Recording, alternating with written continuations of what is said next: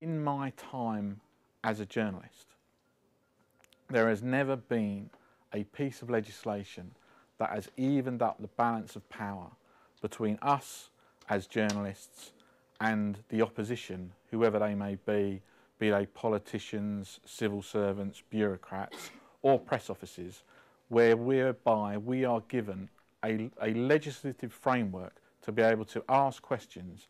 And if we don't get the results that we want, we can then fight back, okay?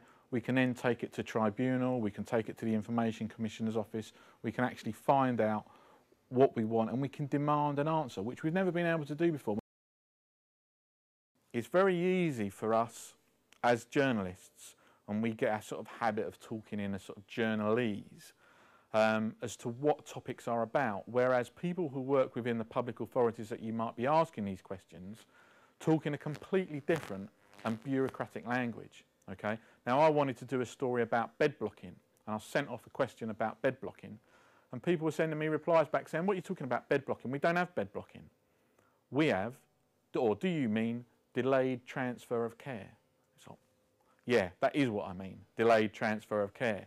Okay, so you have to get into their language. Like I call them on-the-spot fines, but they're called uh, fixed penalty notices for disorder. Okay, town hall snoopers. Okay, that's in fact the Regulatory Investigative Powers Act. Okay, and how many different types of, of um, intrusive or external um, snooping operations that they've done. So you have to immerse yourself in that language so that you then elicit the right answer from them and then you can then translate it back into normal speak once you've got the answer.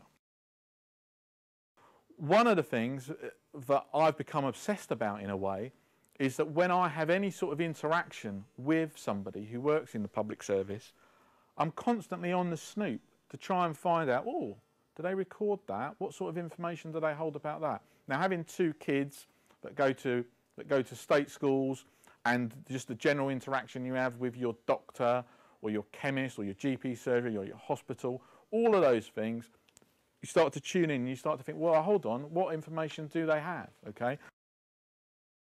Another tip is not to overcomplicate the question, okay?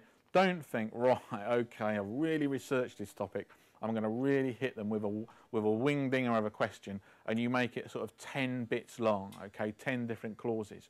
The best questions are the shortest questions. Okay, you know what you want. The person who's receiving the question knows what you want.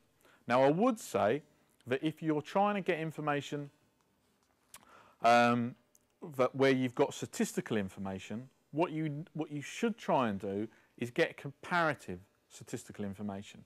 So if you're talking about students from Winchester University who've been kicked out for getting drunk on campus. Okay? Well, if you've got that number, okay, it might be interesting in its own right in that there were five kicked off. Okay? But really, you want to compare it with previous years. Yeah? Because then you want a comparative figure. So you can say the problems of drunkenness at Winchester University are increasing. Ten years, you know, three years ago there was only two people kicked off. This year there's ten people. Okay? When you're also going for small numbers, one thing that I try and do is ask the organisation to give you a brief description of what that activity has been. Okay, so I'm not asking for a huge, great report, but I'm asking them to summarise it in some way. Now they feel safer about that, and you get just a little sort of vignette to sort of spice up your story with. It's a good idea when you're starting out I think, to stick to a topic or subject which you might have some experience of already.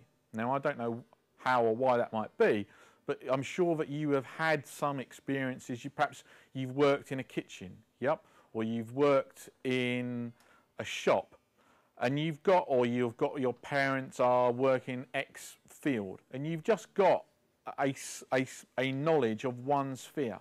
Well, use that to your advantage.